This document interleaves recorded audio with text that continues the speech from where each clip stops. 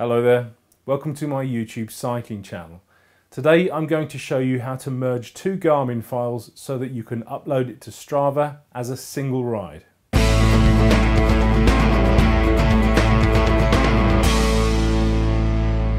So I'm sure we've all been there. The Garmin's messed up, you've had to stop it for some reason and it's divided your epic ride into two separate files. This actually happened to me the last time I rode a Century and it really pissed me off.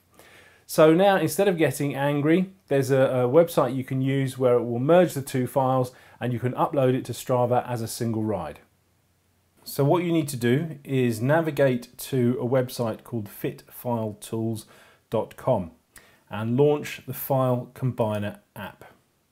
So here we have a box where it needs you to drop the files. Uh, you can drop as many files as you like, um, but for the sake of this example, I'm just going to use the two files that my Garmin created when I did my Century. So you need to go and find those files, and they're usually on your Garmin in the folder marked Garmin and in the activities folder. Uh, but th that involves having to navigate and find them and everything, um, and that's not as easy and straightforward as it first looks. Uh, Garmin also has a rather odd uh, kind of date naming convention. So they have the year first, the month, and then the day. Um, I've already found the two files, and for sake of convenience, I've just put them in a folder here called 100 mile fit file. So I'll just open those up, select them, and then just drag them down into this box here. So that's the files in the box. I'll click go, and it creates the file. And now it gives me the option of either downloading the original file or uploading that file to Strava. And as most of you will probably want to upload it to Strava, let's click that. So now what you need to do is give the activity a name. So I'm just going to call it 100 miles.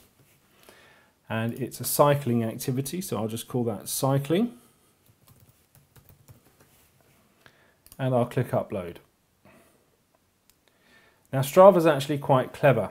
It's detected that it's a duplicate activity and here's the original activity that I did on the day that I rode the, the 100 miler.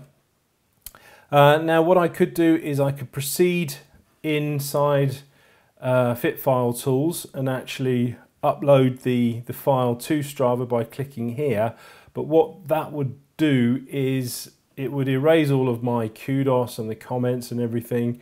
Um, and I don't really want to do that. So uh, I'm, I'm not going to click that for the moment, but instead I'm just going to click here and download the file. So that's it. Thank you for watching. If you have any questions, uh, leave a comment. But in the meantime, thank you for watching and please have a look at some of my other how-to films.